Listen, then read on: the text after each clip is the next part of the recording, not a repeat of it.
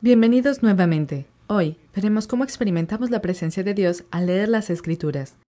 Antes de pensar, oh, genial, ¿quieres que memorice la Biblia? De eso no se trata. Se trata de construir un gran hábito que sea para tu beneficio. Tal vez sientes que no conoces las escrituras o que son muy difíciles de leer, pero sospecho que sabes más de lo que crees. Por ejemplo, probablemente conozcas la frase, Jehová es mi pastor, nada me faltará. Eso es del Salmo 23, uno de los muchos salmos hermosos escritos por David en las Escrituras. Es un gran recordatorio que el Señor está con nosotros y que proveerá para nosotros. Uno de mis versículos bíblicos favoritos proviene de Proverbios 3, versículos 5 al 6.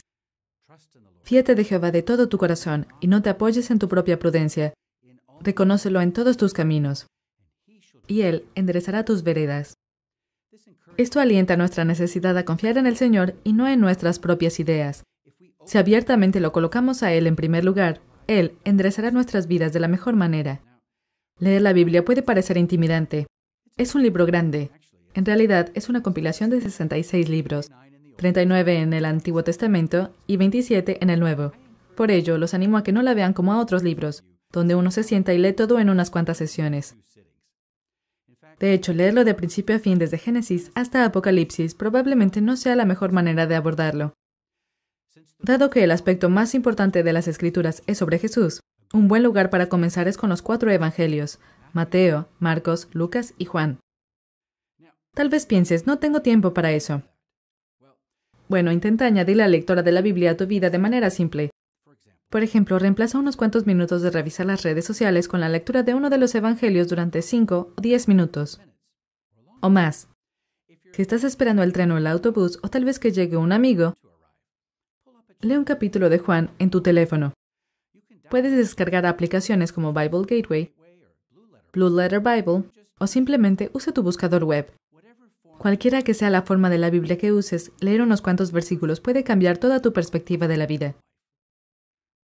Por ejemplo, cuando leas, porque de tal manera amó Dios al mundo que ha dado a su Hijo unigénito, para que todo aquel que en Él cree no se pierda, mas tenga vida eterna. Considera cuánto amor realmente tiene Dios por nosotros que estuvo dispuesto a dar a su Hijo único para salvarnos. O cuando Jesús dijo, Nadie tiene un amor mayor que este, que uno de su vida por sus amigos reconozcamos que Jesús estaba hablando sobre cuánto amor Él tiene por nosotros. Las escrituras fueron dadas para que hagamos uso de ellas, entonces utilicémoslas. Los animo a que hagan que leer las escrituras sea un hábito diario, al igual que el ejercicio u otros hábitos positivos. Solo cinco minutos al día es un buen comienzo, y luego construir desde allí. Hay muchos beneficios al leer las escrituras intencionalmente, como ayudarte a conocer a Dios, apreciar su fidelidad a la humanidad y ver el plan de Dios a lo largo de la historia. Leer las escrituras también puede ayudarnos a aprender sobre Jesús, mostrarnos cómo amar a los demás, renovar nuestra esperanza y fortalecer nuestra fe. El apóstol Juan lo resumió bien cuando completó su relato del Evangelio. Pero estas se han escrito para que creáis que Jesús es el Cristo, el Hijo de Dios, y para que creyendo tengáis vida en su nombre.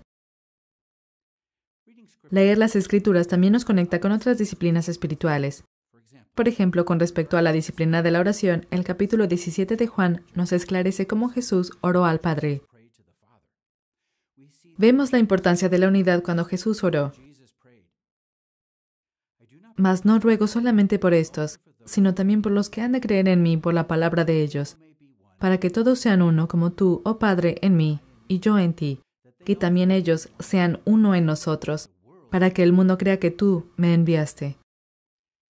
Nosotros también debemos orar por la unidad de la misma manera en la que Jesús oró por ella, porque realmente es importante.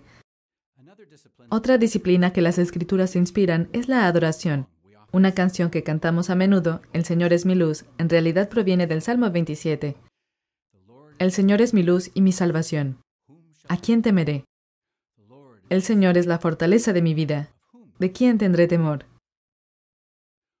Qué manera tan poderosa de alabar al Dios Todopoderoso que es nuestra luz y salvación y la fuerza de nuestra vida.